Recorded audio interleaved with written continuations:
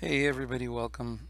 Uh, I just wanted to um, show you something that I did while I was kind of messing around at work and it actually was went by really quick. Um, uh, one thing that I did was I looked up on Wikipedia the dodecahedron a dodecahedron which is um, a 12-sided polygon.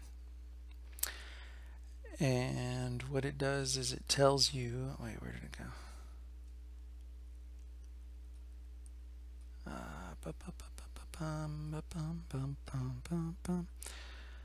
Um, tells you all about it. Basically, you take 360, you divide by 12, you get 30 degrees. So every vertice that's separate from another vertice is uh, there's 30 degrees. So on that basis, or on that whatever, I uh, went ahead and did it. Uh, the way I did it was random colors uh, for every vertice. The first one I had to draw like this, uh, or I had to initialize like this outside of a loop, and then I put it inside a loop here, and this, this loop is what really threw me. It took me a while, and that's why I did it all off camera.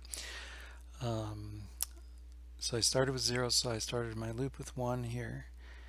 And I went up to um,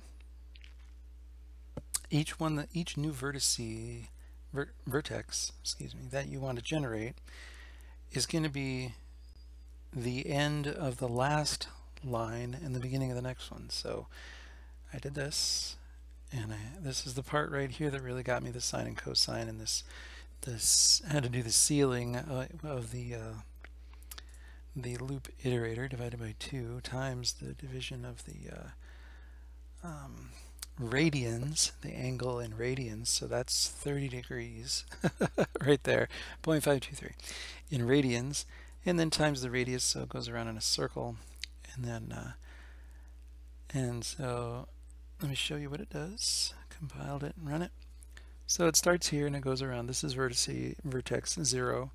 This is vertex 1. It's also vertex 2 vertex 3 and 4, 5 and 6, blah, blah, blah, all the way around. And of course it's random colors each time and it's it's a regular dodecahedron. So anyways, I just wanted to show you this and I'm going to do a couple more things um, with this and probably be a couple more videos coming here real shortly. All right, thanks for tuning in. Be sure to like and subscribe and I hope this uh, inspires someone or helps someone to do something crazy and creative and fun. So.